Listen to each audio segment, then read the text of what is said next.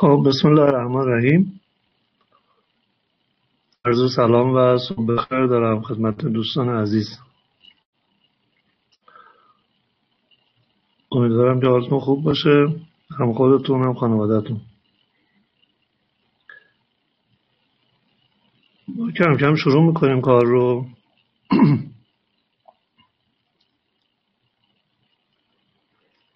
دوستانی که اومدن تا الان.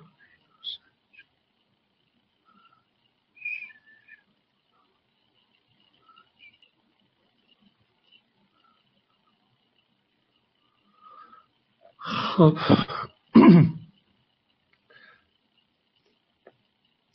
چهار پونزه نفر هستن حالا کم کم بقیه هم وارد میشن. خب. ببینید دوستان ما تا امروز سر کلاسی بودیم بحث مثل انبساط گرمایی و گرما و تغییر حالت ها و اینا همه رو درس داده بودیم. اون کلاس مجازی هم که اومدیم بحث انتقال گرما و روش انتقال گرما رو بهتون گفتیم که اون کلاس مجازی رو باید کامل گوش کرده باشید. اونجا هم بهتون گفتم که حتما اون صفحاتی که توی کتاب هست و حتما مطالعه بکنید چون بیشتر روش انتقال گرما تعریفیه و مسائل خاصی نداره. حالا اونا رو شما دیگه خودتون هم از رو کتاب می‌تونید بخونید ضمن که به اون کلاس هم توجه داشته باشید. در ادامه بحثمون بحث قوانین گازها رو داریم که این هم که مطرح بکنیم دیگه فصلمون تمام میشه. دقت کنید. در مورد گازها علاوه بر این که تغییر دما باعث تغییر حجم میشه مثل همون چیزایی که توی انبساط گرمایی در مورد جامدات و مایعات خوندید. اگر دما رو شما تغییر می‌دادید انبساط حجمی پیش می اومد حالا اگر خب طبیعتا دما رو کم بکنید انقباض میشه دیگه. خب علاوه بر این که توی گازها مثل جامدات و مایعات تغییر دما باعث تغییر حجم میشه تغییر فشار هم باعث تغییر حجم میشه. اینا یه خاطرتون باشه سر کلاس یه مثالی زدم بهتون. گفتم مثل کپسول های مایع که اصطلاحا بهش میگن کپسول های مایع اون کپسول های 11 کیلویی یا 20 کیلویی هستن که گاز رو انقدر فشرده می‌کنن که حجم گاز بسیار بسیار کم میشه و حتی تبدیل به مایع میشه. خب ما این رو در مورد گازها رو می‌خوایم بررسی کنیم که هم بحث دما هم بحث فشار هم بحث حجم. یعنی این سه تا کمیت رو می‌خوایم بررسی کنیم که ببینیم به چه صورت میشه.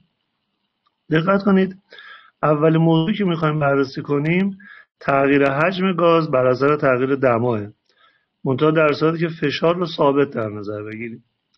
اصطلاحا به این بحث میگن قانون شارل. البته این مباحثی که امروز داریم صحبت می‌کنیم شما تو شیمی هم خوندید یا حالا می‌خونید. به هر حال مباحث مشترکیه که هم توی فیزیک هست هم توی شیمی. پس تغییر حجم در اثر تغییر دما در فشار ثابت. یا قانون شارل. علت شما که آقای شارل تونسته به این نتیجه برسه. خب قانون شارل چی میگه؟ میگه حجم مقدار معینی از یک گاز با دمای مطلق آن نسبت مستقیم دارد. ببینید دو تا نکته. اولا اینکه حجم با دما نسبت مستقیم داره. یعنی اگر دما زیاد بشه حجم زیاد بشه. دما کم بشه حجم کم بشه. این یه موضوع. دوم که در مورد دمای مطلق داریم صحبت می‌کنیم. دقت کنید. دمای مطلق حتما دمای کلوینه. حتما دمای کلوین. یعنی راجع به دمای سلسیوس و دمای فارنهایت صحبت نمی کنیم خب پس بنابراین حواسمون باشه که به چه صورت دیگه. پس فرمول ببینید من نوشتم نوشتم V متناسب است با T حتما دمای مطلق و کلوینه. و بنابراین می‌تونیم بگیم که VTO مقدار ثابتی میشه. یعنی T رو ببریم اون تو مخرج. و VTO میشه مقدار ثابت. منتها در چه موقعی؟ در موقعی که فشار ثابته. و در اینجا ما جرم رو هم ثابت در نظر می‌گیریم دیگه. حواستون باشه به موضوع.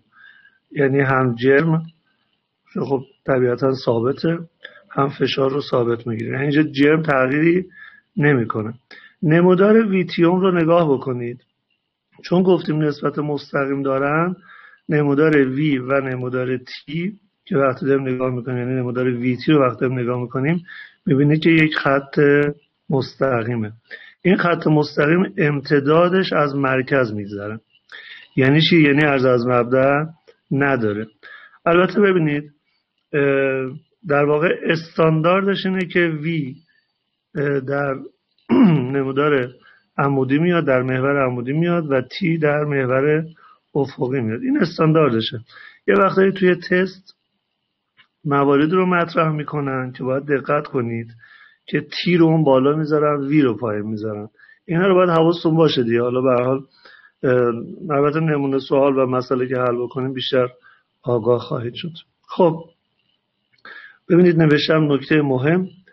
در رابطه فوق دمای گاز الزاما به حسب کلوین یا دمای مطلقه و در صورت که دما بر اساس سلسیوس یا فارنهایت باشه باید اول به کلوین تبدیل بشه. اینا رو دقت کنید. من این مباحثی که نوشتم و اینجا براتون گذاشتم رو حتما وارد دفترتون بکنید بعدا. یعنی سر فرصت حتما وارد دفترتون بکنید. خب.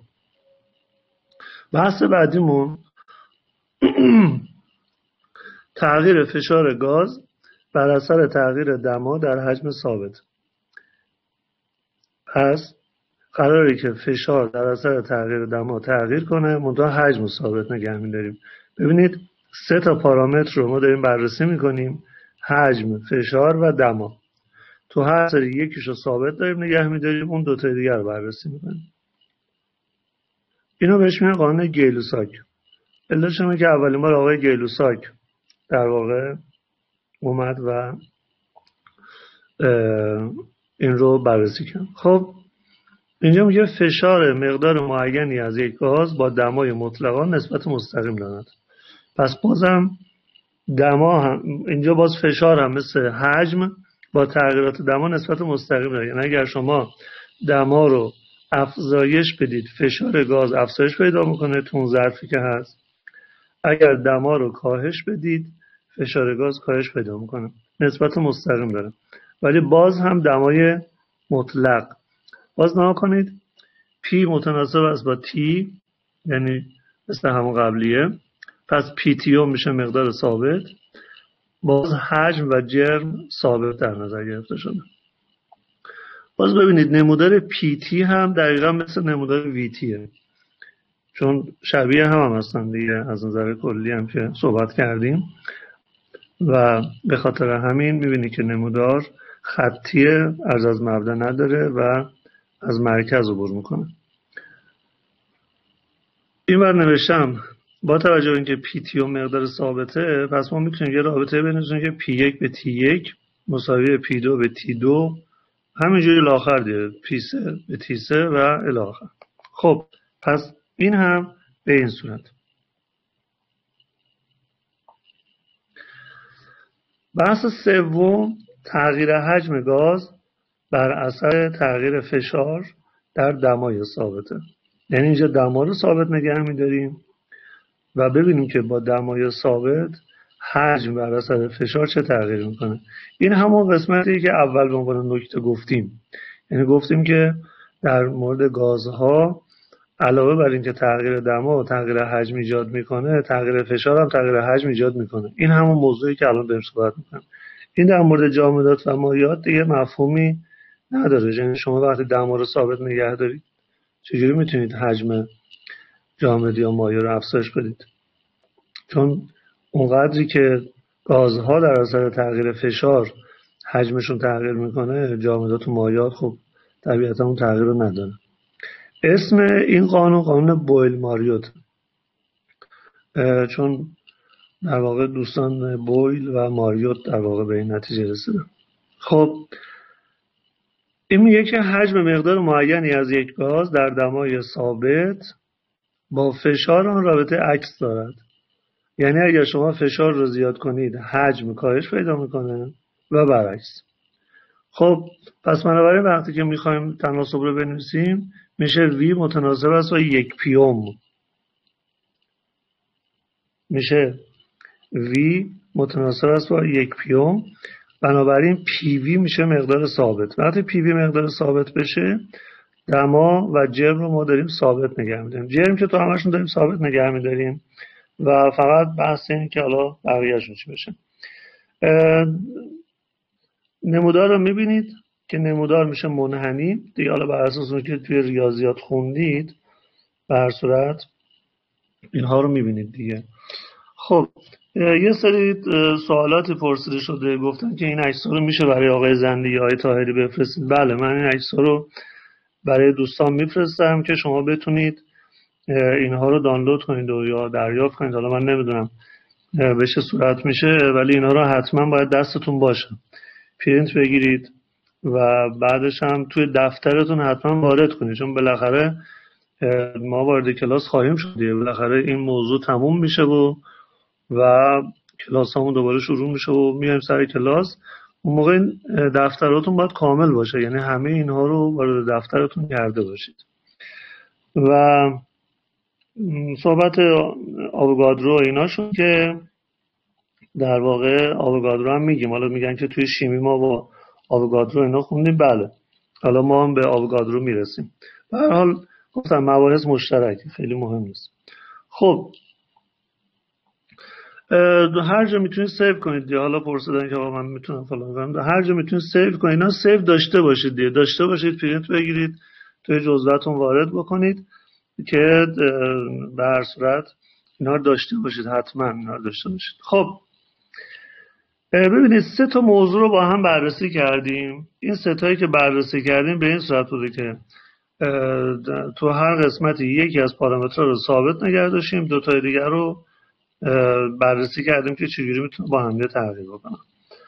حالا یه نتیجه مهم می‌گیریم. نتیجه مهم اینه که وقتی که ما اینها رو با همدیگه مقایسه بکنیم می‌تونیم بگیم PV T اُم مقدار ثابتیه. پیویتیو مقدار ثابتیه.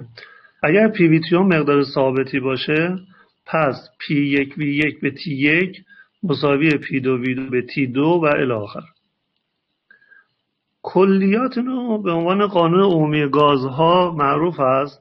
البته این کاملتر خواهد شد الان فعلا ابتدای قضیه هستیم. داریم مرحله مرحله و پله پله داریم میریم جلو. فعلا ابتدای قضیه است و ساده ترش فعلا همینه که دارید می‌بینید. تا اینکه بتونیم کاملش بکنیم. خب پس ما تا اینجا به این نتیجه رسیدیم که پی وی تیو مقدار ثابتیه.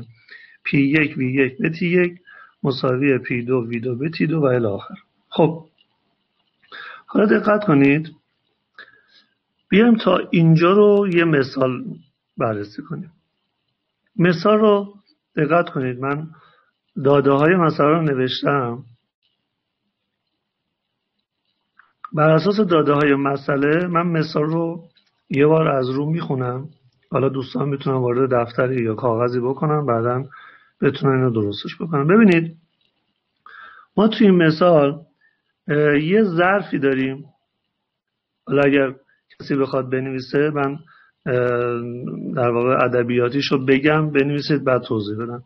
میگه در ظرفی چهار لیتر هوا با دمای 27 درجه سانتیگراد و فشار یک اتمسفر موجود است. اگر دمای آن را به 127 درجه سانتیگراد برسانیم و حجم آن 5 لیتر شود فشار گاز را حساب کنید. خب پس چی شد؟ یه ظرفی داریم که چهار لیتر گاز توشه. این چهار لیتر گاز 27 درجه سانتیگراد دما داره که یک اتمسفر هم فشارشه. خب دما رو رسوندیم به 127 درجه سانتیگراد و حجم این گاز شده 5 لیتر. حالا میگه که فشار چقدر میشه. ببینید بر اساس همین چیزی که الان خوندید PV T اُم ثابت این PV T اُم ثابت ببینید. PV T اُم ثابت P یک V یک به T یک مساوی P دو V دو به T دو. پس بنابراین همین فرمول رو میاریم اینجا می نویسیم P یک V یک به T یک مساوی P دو V دو به T دو. خب.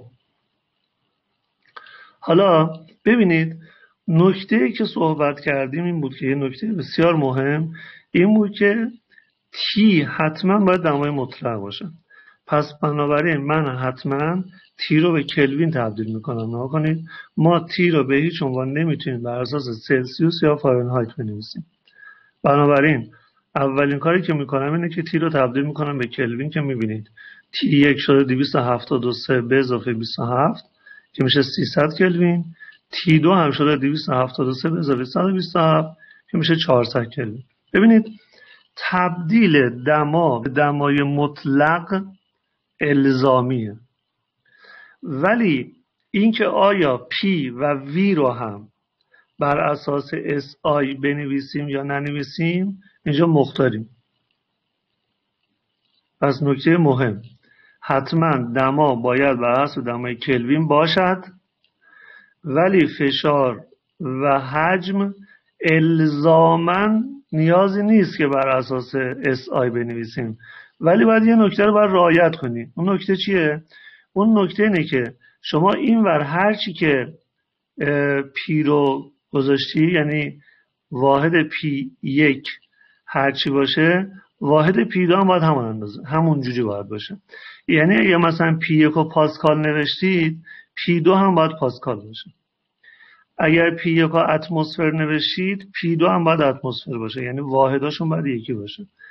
در مورد وی یک و وی دو هم همینه. وی یک رو شما هر واحدی که گذاشتید وی دو هم باید همون واحد داشته باشه. اگر وی یک رو لیتر گذاشتید وی دو هم باید لیتر باشه. اگر وی یک رو سانتی متر مکعب گذاشتید وی دو هم باید سانتی متر مکعب باشه. اگر وی یک رو در اس آی گذاشتید یعنی متر مکعب وی دو هم باید متر مکعب باشه. پس بنابراین اینها چیزایی که باید رعایت کنید ولی تی یک و تی دو الزاما باید کلوین باشه. خب. حالا ببینید همین اطلاعات مسئله رو ما وارد می‌کنیم اینجا. پی یک یک اتمسفر. خب می‌ذارم یک ضرب داره. وی یک چهار لیتره. می‌ذارم چهار تقسیم بره. تی یک سیصد کلوینه. سیصد کلوین. مساویه.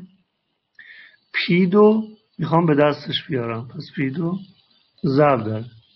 V دو پنج لیتر شده. اینم پنج.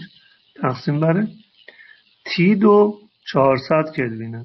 این هم 400 ببینید خیلی راحت یک رابطه بسیار ساده ایه که شما به راحتی P دو رو می‌تونید اینجا به دست بیارید. یا حالا یا طرفین وسطین می‌کنید و P دو به دست میارید پی دو میشه.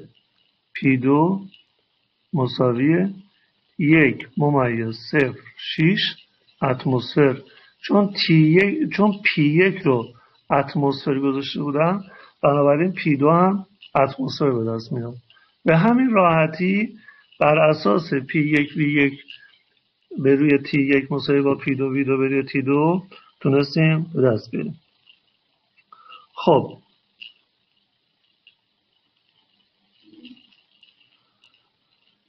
سوال پرسیدن که اگر حجم رو بالا ببریم فشار پایین میاد؟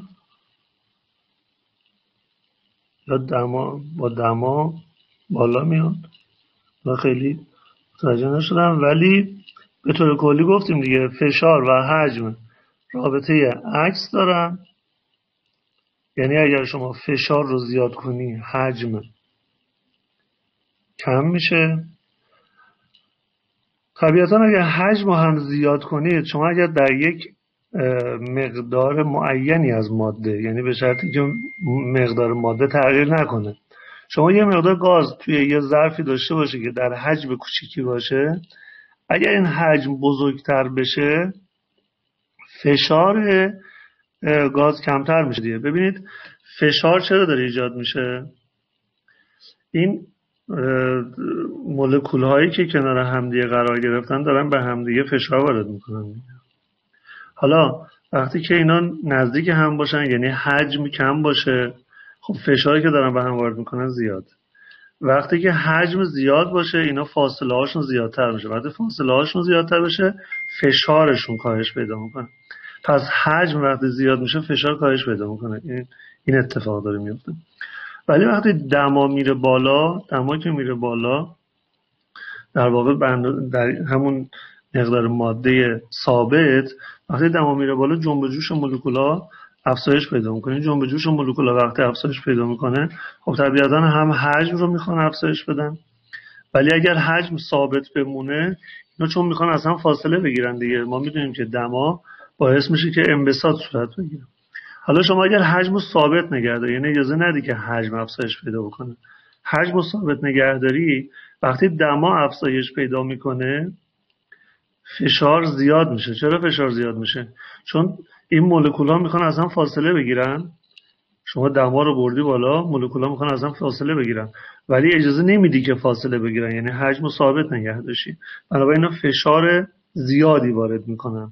این باعث میشه که با بالا رفتن دما فشار افزایش پیدا کنه. ولی اگر نه فشار رو ثابت نگه داری یعنی وقتی که دما زیاد میشه اجازه انبساط رو بهش بدی. و طبیعتا وقتی که دما میره بالا حجم هم افزایش پیدا می‌کنه و فشار ثابت می‌کنه. میگه برای چی دما نمی‌تونه سلسیوس باشه؟ علتش اینه که ببینید وقتی که محاسبات صورت می‌گیره و فرمول ساخته میشه ما داریم هی چی داریم میگیم میگیم که مثلا دما اگر انقدر افزایش پیدا کنه فشار اینجوری میشه حجم اونجوری میشه.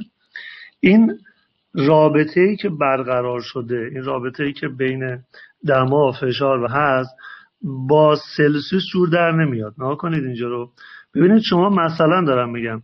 اینجا وقتی تی یک رو داشته باشی 300 این ور تی رو داشته باشی 600 یعنی دما دو برابر شده. خب؟ یعنی 300 کلوین شده 600 کلوین. خب یعنی دما دو برابر شده. وقتی دما دو برابر میشه میگیم آقا چون دما دو برابر شد حجم هم دو برابر میشه. چون حجم و دما با هم رابطه مستقیم دارن. ببینید صفحه قبلی رو ببینید. گفتیم حجم و دما با هم رابطه مستقیم دارن. پس اگر دمای مطلق دو برابر شد حجم هم دو برابر میشه یا اگر دما دو برابر شد در حجم ثابت فشار هم دو برابر میشه این در مورد دمای کلوینه. یعنی 300 کلوین شده 600 کلوین. خب؟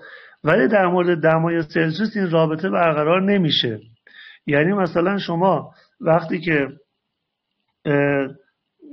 100 درجه سانتیگراد مثلا داشته باشی این 100 درجه سانتیگرادت بشه 200 درجه سانتیگراد یعنی دو برابر بشه حجم دو برابر نمیشه یا فشار دو برابر نمیشه.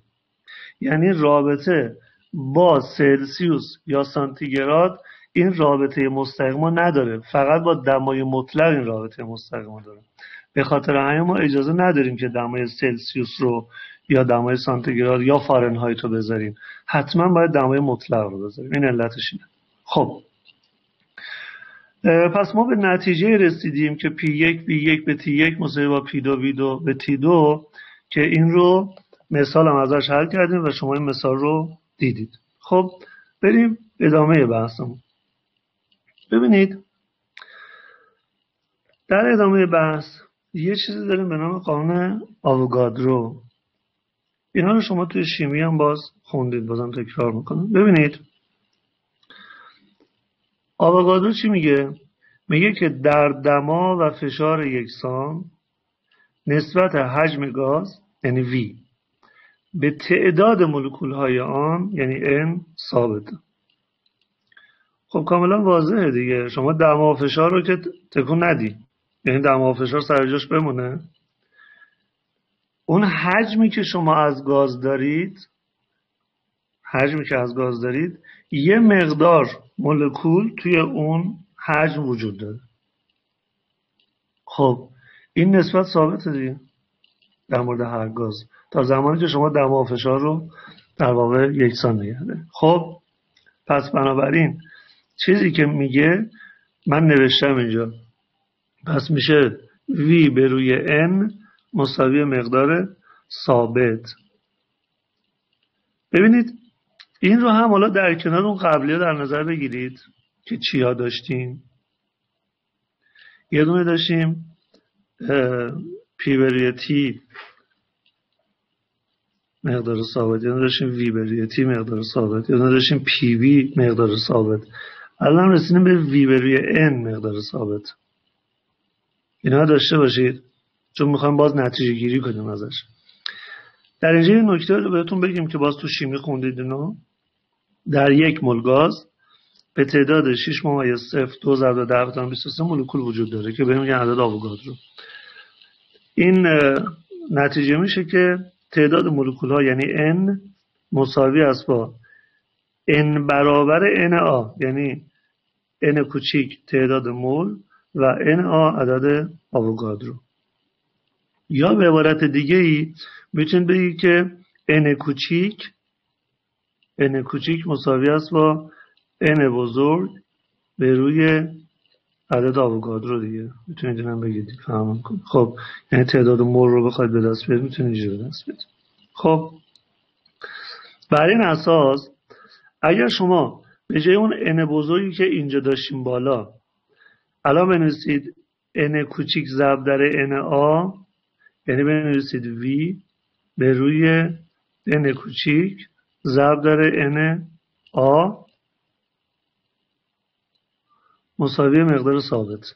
خب اگر اینو شما بنویسید با توجه به اینکه NA یه عدده NA یه عدده خب این با عدده کار نه عدده معلوم ثابته دیگه.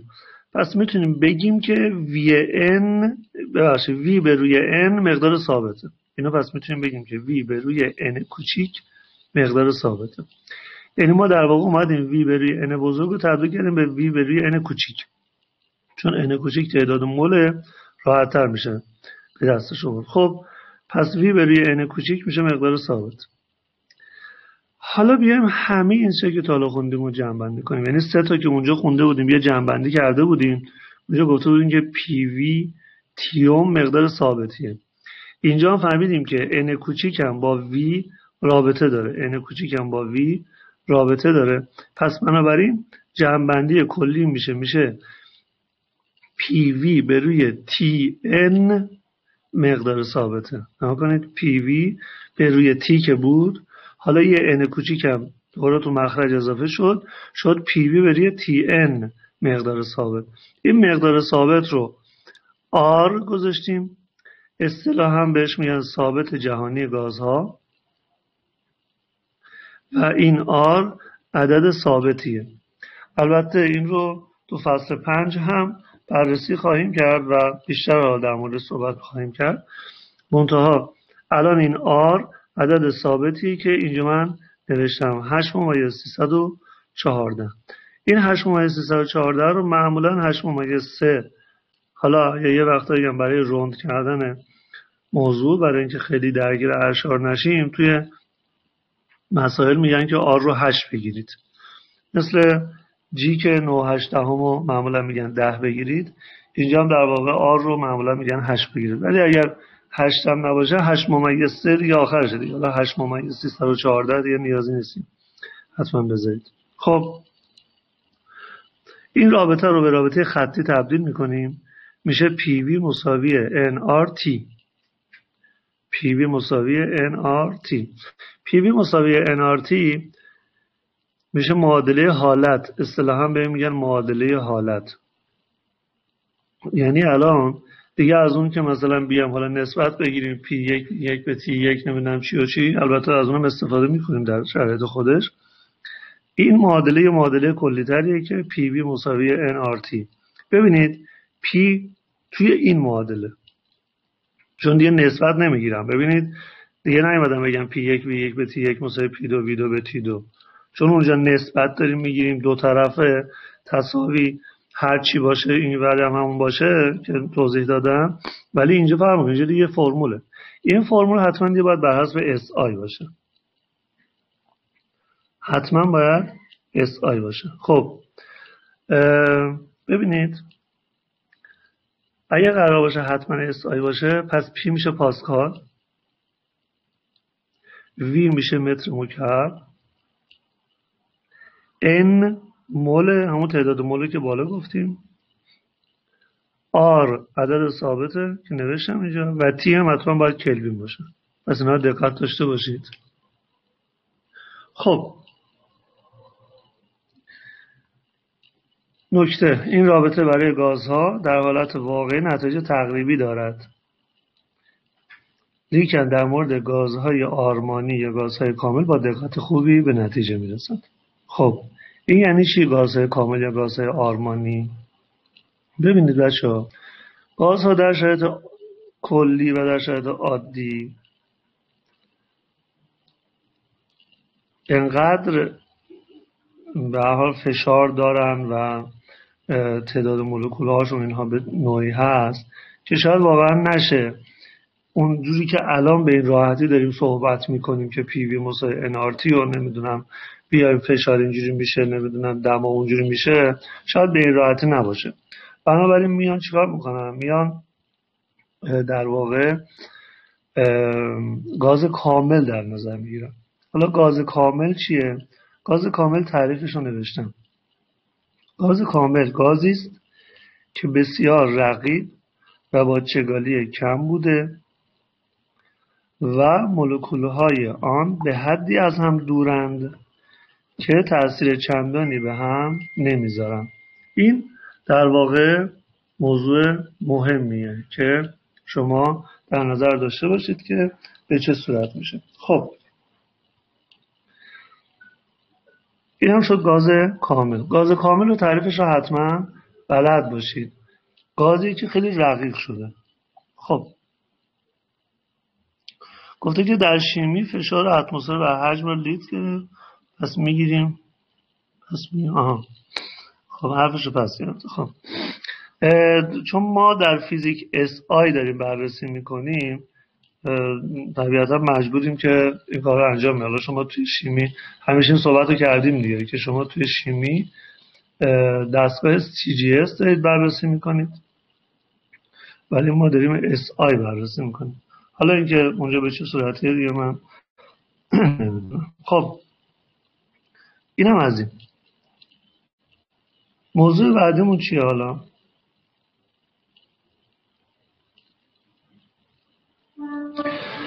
موضوع بعدی اینه که حالا چگالی رو هم می‌تونیم با توجه به تغییراتی که داریم چگالی رو هم می‌تونیم تغییراتش رو ببینیم ببینید من نوشتم رو یک به رو دو میشه پی یک پی دو ضرب تی دو به تی یک این یعنی چی؟ یعنی اینکه تغییرات چگالی با تغییرات فشار نسبت مستقیم داره. ببینید وقتی که نوشتم رو یک به رو دو نوشته پی یک به پی دو. پس تغییرات چگالی با تغییرات فشار رابطه مستقیم داره ولی با تغییرات دما رابطه عکس داره. یعنی چی؟ یعنی اینکه اگر شما دما رو زیاد کنی چگالی کم میشه. اینو قبلا هم داشتید. اگر دقت کرده باشید قبلا هم اینو داشتید. وقتی که دما زیاد میشه حجم افزایش پیدا می‌کنه. وقتی حجم زیاد میشه چگالی کم میشه. پس بنابراین تغییرات چگالی با تغییرات دما رابطه عکس داره. ولی با تغییرات فشار رابطه مستقیم داره. یعنی وقتی فشار زیاد میشه چگالی هم زیاد میشه. خب. نکته بعدی چیه؟ نکته بعدی اینه که چنانچه چند گاز در شرایط خاصی در یک ظرف قابل مخلوط شدن باشن. ببینید من حالا اینجا دیگه بحث شیمی و اینا نمیارم که حالا نمی‌دونم یه گازی ممکنه با یه گازی دیگه مخلوط بشه اصلا منفجر بشه. ممکن اصلا آتیش بگیره. ممکن اونا رو بذاریم کنار. اگر گازهایی که قابل مخلوط شدن هست یا شرایط طوریه که قابل مخلوط شدن هست. مثلا مثلا شما هوا رو در نظر بگیرید. هوا گازه ولی مخلوطی از چند گازه. شما توی هوا هم اکسیژن دارید هم نیتروژن دارید هم هیدروژن دارید هم خیلی چیزای دیگه تو این هوا دارید دیگه. حالا بخصوص هوای تهران که گوگرد هم دارید و همه چیز دارید. پس بنابراین یه وقتی ما می‌تونیم چند تا گاز رو با هم مخلوط کنیم که یک گاز مخلوط به دست بیاد. اگر یه همچین شرایطی ایجاد بشه و بشه این کارو کرد یه رابطه برقرار میشه. این رابطه خوب دقت کنید. یعنی من ممکنه گاز آ داشته باشم با پی آ وی آ و تی آ. گاز بی داشته باشم با پی بی وی بی و تی بی. گاز سه هم مثلا داشته باشم گاز چهارم هم داشته باشم و الاخر گاز مخلوط رو با پی وی و تی دارم نشون میدم. خب اگر یه همچین چیزی باشه پیویتیوم گاز مخلوط. این مال گاز اصلی و گاز مخلوطه. خب پیویتیوم مخلوط. اینجور نیست شما بگیم آقا فشار مخلوط میشه جمع فشارهای همه گازها. یا جمع یا مثلا حجم مخلوط میشه جمع حجم همه مخلوط ها یا مثلا دمای مخلوط میشه جمع دمای همه گازها. نه اینطور نیست. رابطه ای که برقرار اینه دقت کنید. هر کدوم تک تک پیویتیومش رو باید در نظر بگیرید. هر کدومشون رو تک تک. باید پیویتیومش رو با هم در نظر بگیرید یعنی میگی پیویتیوم مخلوط مساوی است با پی آ وی آ به تی آ به اضافه پی بی وی بی به تی بی و الی آخر. پس بنابراین اینو هم باید در نظر داشته باشید که به چه صورت باید عملیاتش بکنیم. خب. حالا یه مثالی میگم. این مثال رو آروم میگم که بنویسید و بعدش بیایم حلش بکنیم.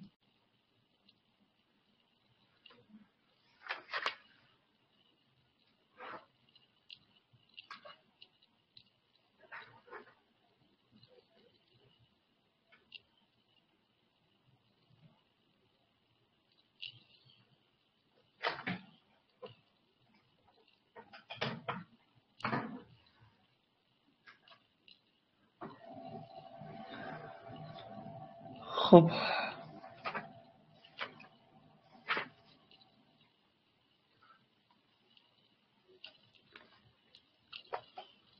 بنویسید مثال رو.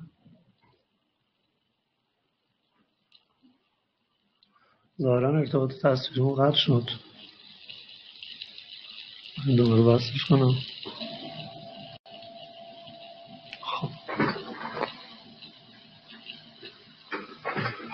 گفتن که عدد ثابت کمی اشاری تر بود. باشه حالا هزار تا اشار داشته باشه. البته هشت ماه چارده در واقع هستش. حالا هر چه که اشار داشته باشه. همون هشت و سه هم یا خود هشت رو در نظر می‌گیریم. خب مثال رو بنویسید مثال میگه که فرض کنید سه ظرف داریم.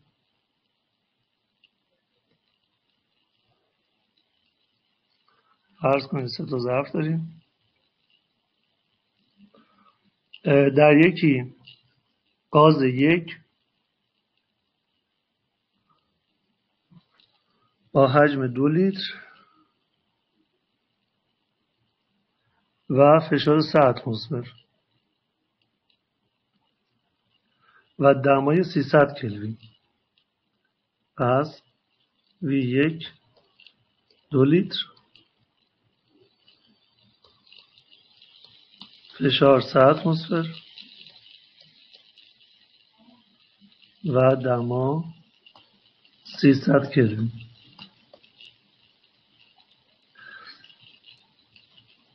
و در دیگری گاز دو به حجم گاز دو به حجم چهار لیتر یعنی وی دو میشه چهار لیتر.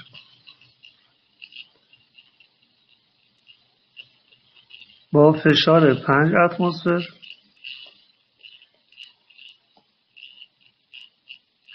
و دمای تی دو و دمای 400 کلوین و در سومی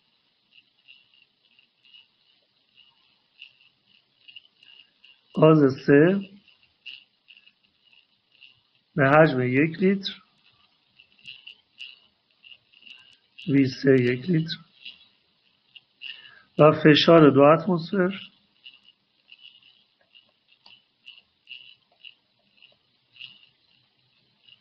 و دمای 600 کلوین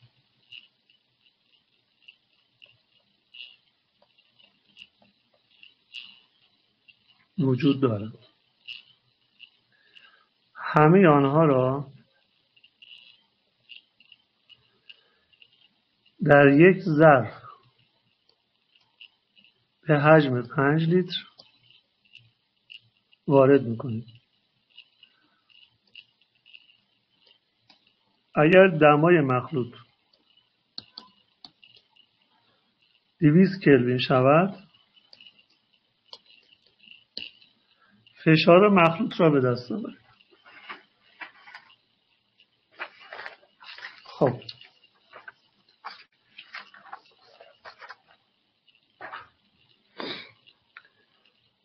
خب بیام حالا حلش کنیم اینو. چجوری میشه حل کرد؟ بر اساس همون چیزی که فرمولی که گفتیم دیگه. اول فرمول رو بنویسیم. پی وی تیوم گاز کلی مساوی است با P1 V1 T1 به اضافه P2 V2 به روی T2 به اضافه P3 V3 به روی T3 این چیزی که باید بنویسید. حالا با توجه به همین چیزی که من این کنار نوشتم و دارید اینو الان همین الان حل کنید جوابشو برای من بفرستید من ببینم. دو دقیقه فرصت دارید. دو دقیقه فرصت دارید. تو این دو دقیقه جوابشو برسید جواب آخر رو برای من بنویسید. یعنی شما در واقع فشار مخلوط رو باید به من اعلام بکنید. این پی رو که فشار مخلوط میشه رو باید به من یه عدد اعلام کنید. همین الان انجام بدید دو دقیقه فرصت یه عدد برای من بفرستید.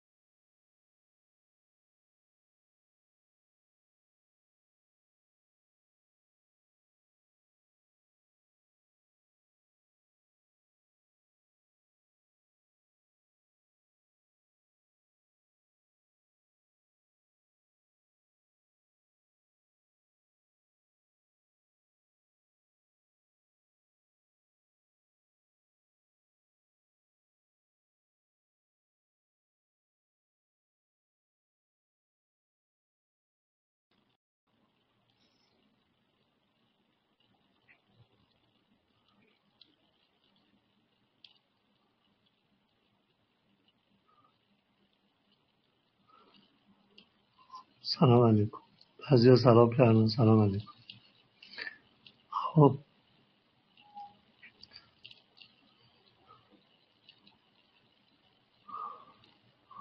خب. بد نیست. بعضی جواب درست گفتن. دو نه دهم. بعضی تقریب گرفتن گفتن تقریبا سه. حالا عددهای دیگه هم داریم دیگه ماشاءالله. مثل همیشه عددهای زیادی داریم. خب.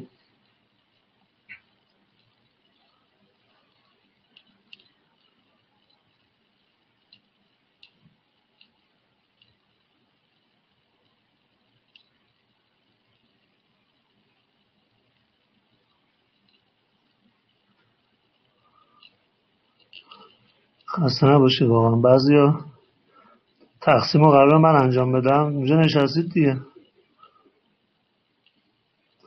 توی خونه هم هستید. یه ماشین حساب کنارتون نیست. شاید در حال استفاده کنید. ماشین حساب تو ممنوع هست. ولی شما که بالاخره یه ماشین حساب کنارتون هست دیگه. کامپیوتر هم که ماشاءالله ماشین حساب داره. یه ماشین حساب نداشته باشید. خب.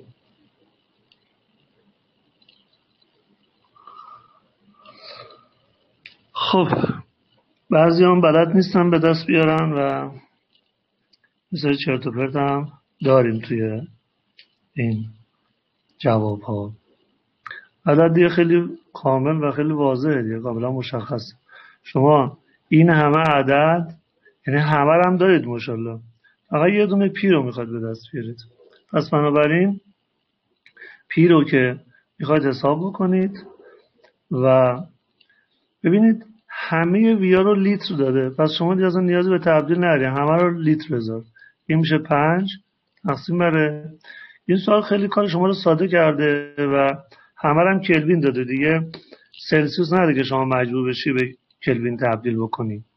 پس اینجا باز دوباره میشه دیویست مساویه دونه به دونه همه اینا رو جایگذاری می‌کنید. وقتی که جایگذاری بکنید همه اینا رو وقتی جایگذاری بکنید در نهایت می‌رسید به همون پی اصلی که میشه دو ممیز نو اتمسفر. خب روندم نکنید دیگه. حالا همون دو ممیز نو کافیه. حالا دی بعضی دیگه خیلی با ماشین حساب حساب کردن دیگه تا دوازده رقم اشکال هم رفتن دیگه. خب. ولی دقت کنید چون بعضی عدداشون خیلی عددهای پرتیه و اصلا حتی نزدیک هم نیست. بیشتر دقت کنید که دچار مشکل نشید. خب ببینید بچه ها کلیات قوانین گازها همینایی بود که دیدید. من توجه شما رو جلب می‌کنم. اولا که به این جزوهی که براتون گذاشتم و دید بشه صورتیه. و دومی که من یه حتما و حتما و حتما توجه کنید که به کتاب هم دقت داشته باشید چون کتاب هم خیلی اهمیت داره. همه این چیزهایی که من بهتون درس دادم از توی متن کتاب هم دقت کنید. از تو متن کتاب. یعنی باید حتما متن کتاب رو هم مطالعه بکنید دقیقا و ببینید که به چه صورتی هست و خدمت شما ارز کنم که بررسی کنید. از متن کتاب صفحاتش مشخصه دیگه قوانین گازها. از همون بحث روش های انتقال گرما که حتما باید از توی کتاب مطالعه بکنید از همونجا شروع کنید. و قوانین گازها رو هم به همین صورت. حتما اینا رو مطالعه بکنید که بدونید که چیکار باید بکنید.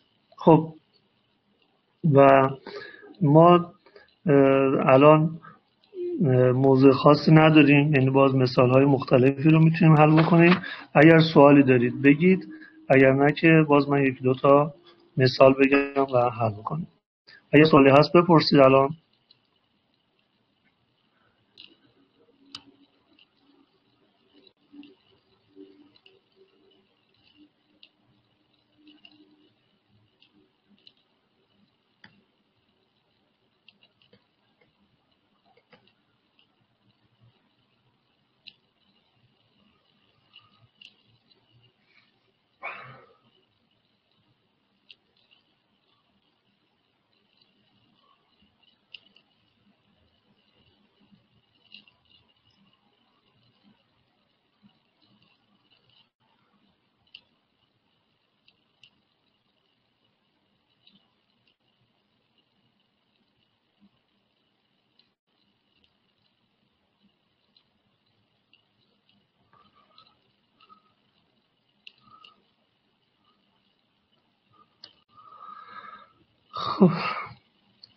خب که قوانین گازها آزمون جامعه میاد؟ نه. آزمون جامعه تا سر قوانین گازهای منطقه ما باید درسمون بگیم بریم دیگه. بالاخره نمی‌تونیم واسیم برای آزمون جامعه که. آزمون جامعه تا سر قوانین گازهای که خب تقریبا همه رو ما درس داده بودیم. فقط روش انتقال گرما مونده بود که اون روش انتقال گرما رو هم توی اون کلاس مجازی گفتم و از رو کتابم که بخونید موضوع خاصی نداره. یکی اینه و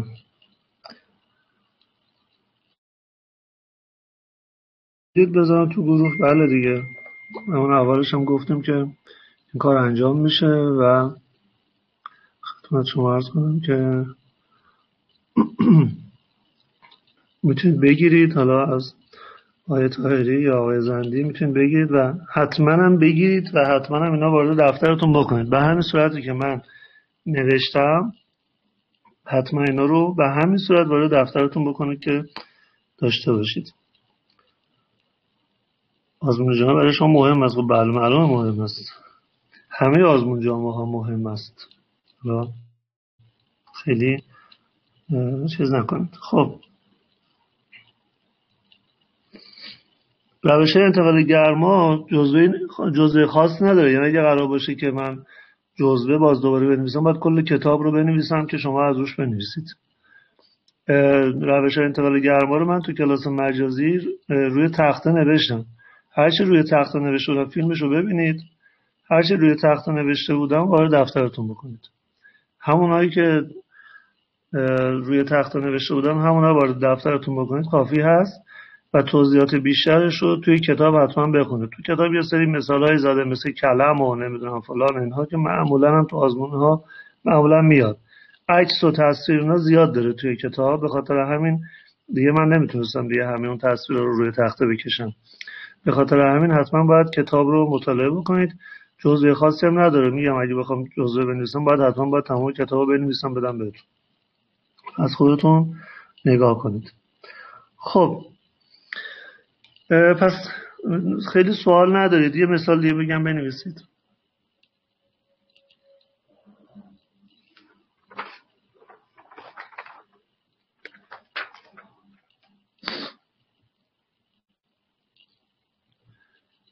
بنویسید.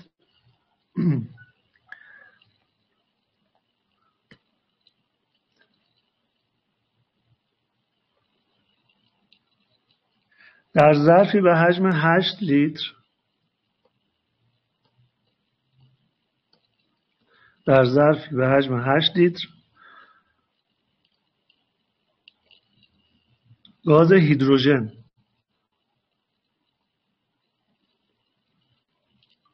گاز هیدروژن. در دمای 27 درجه سانتیگراد. و فشار یک اتمسفر موجود است. جرم گاز موجود در ظرف جرم گاز موجود در ظرف چند گرم است؟ خب اینجا دقت کنید. ببینید شما وی تتا پی رو دارید و ام رو می‌خواید جرم رو می‌خواید. طبیعتا وقتی نگاه کنید خب نمی‌تونید از رابطه های پی وی تی مقدار ثابت یا همون پی یک وی یک به تی یک مساوی پی دو وی دو به تی دو اینا نمی‌تونه چون نداشتن که. پس مشخصه که باید از روابط دیگه استفاده کنید از اون روابطی که بعدا خوندید. اولین کاری که باید بکنید که این تتا هست. ببین اصلا شما نباید تتا بذارید بمونه اولین کاری که باید بکنید اینه که اینو باید به تی تبدیل کنید. این تی میشه 273 به اضافه 27 که میشه 300 کیلو. این اول. اصلا این نافرمه. اصلا این اصلا نباید باشه. هر چیزی اصلا نباید ببینیم. خب پس الان من وی دارم تی دارم پی هم دارم. ببینید از سه تا پارامتر هر سه تاشو دارم. هم پی رو دارم. هم وی رو دارم هم تی رو دارم. ببینید. خب ایمو می‌خوام. ایمو از کجا می‌تونم به دست بیارم؟ ببینید یه رابطه هست که من قبلا موقعی که گرما رو درس می‌دادم به شما این رابطه رو گفتم توی جزات هم نوشتید. یه رابطه ای هست که n یعنی تعداد مول مساوی است با m به m. M کوچیک به m بزرگ. M کوچیک همون جرم گازه. و m بزرگ هم جرم مولیه دیگه. اینو قبلا داشتید. این جرم مولی. این هم که تعداد مول هاست. ام هم که جرم گازه خب. پس دقت کنید. من ام رو از این رابطه می‌تونم به دست بیارم. ام کوچیک رو. می‌تونم از این رابطه به دست بیارم. خب چطوری به دست بیارم؟ با توجه اینکه وقتمونم دیگه کمه و رو به اتمامه خیلی سریع این رو ببینیم که به چه صورت هست. ببینید رابطه ای که باید استفاده کنم اینه پی وی مساوی ان آر تی. خب اینجا گفتم که تو این رابطه حتما باید اس آی باشه. یعنی دیگه جز اون رابطه نیست شما هر چی دلتون خواهد. پس این اتمسفر هم باید پاسکال باشه این لیتر هم باید متر مکعب باشه خب چیکار باید بکنم؟ این پی رو می‌نویسم یک و نیم ضرب داره ده به توان پنج پاسکال. اتمسفر تبدیل به پاسکال کردم ضرب داره وی لیتره. لیتر هم باید به متر مکعب تبدیل کنم. برای تبدیل لیتر به متر مکعب میشه ضرب داره ده به توان منفی سه. پس هشت ضرب داره ده به توان منفی سه. مساویه. اول باید n به دست بیارم تا m از توش به دست بیارم. پس میشه n ضرب داره. R رو اینجا من 8 می‌گیرم. R تقریبا 8 جول بر مول کلوین. ببینید این رابطه جول این واحد جول بر مول کلوین رو بررسی کنید که ببینید چرا این واحد به دست اومده. با توجه همون این رابطه پی وی مساوی NRT که توی جزوتون بود اگر دقت کنید می‌فهمید. منتها این رو بررسی کنید بعدا برای من ارسال کنید که از کجا به دست اومده. خب n ضرب داره 8 ضرب داره t. T چقدر 300 کلوین خب از اینجا n به دست میاد. دیگه حالا محاسبات ریاضیش خودتون انجام بدید. N که به دست بیاد n میشه یک دوم. N میشه یک دوم. یک دوم چی؟ یک دوم مول. از اینجا حالا جرم مولی هیدروژن رو دارید. جرم مولی هیدروژن رو دارید. چطوری؟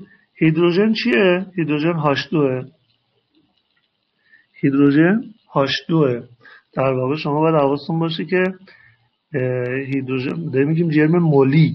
یعنی هاش رو نمی‌تونید یک بگیرید. هاش همیشه به صورت هاشدو هستش. همیشه به صورت هاشدو هست. جرم هیدروژن دو, دو چی؟ جرم مولیه دیگه. دو گرم بر مول در واقع. خب پس بنابراین وقتی که شما اینو داشته باشید به راحتی n این فرمول. این فرمول n میشه یک دو مساوی m تقسیم بر دو. از اینجا m به دست میاد. M میشه یک دو. یک دو m میشه یک. یک گرم. به همین راحتی شما جرم هیدروژن رو که توی این محفظه بوده و توی این ظرف بوده رو می‌تونید به دست بیارید که میشه یک گرم. خب یه سری سوالاتی رو من در اختیار مدرسه قرار میدم که حالا براتون ارسال می‌کنن این سوالات رو حل می‌کنید. حالا برنامه‌ریزیش رو با مدرسه انجام میدیم. احتمال داره که تا چهارشنبه در واقع شما فرصت داشته باشید که این مسائل حل بکنید چهارشنبه من یه کلاس رفع اشکال و حل تمرین بذارم. البته سعی می‌کنم که در قالب آزمون باشه. حالا من با آقای تایری و آقای زندی هماهنگ می‌کنم و بعد برنامهش رو برای شما اعلام می‌کنم که ببینیم یا چهارشنبه ما با توجه به حجم درسایی که دارید ببینیم آیا چهارشنبه ما فرصت می‌کنیم که باهاتون کلاس داشته باشیم یا نه. سعی می‌کنیم داشته باشیم برای رفعش کنیم خب شما رو به خدای بزرگ میسپاریم. اینجا فقط یه چند تا گفتن که بله جزا رو حتما میفرستیم. بله چشم. موفق و معید باشید. خسته نباشید. به سلامت. خدا حافظ شما.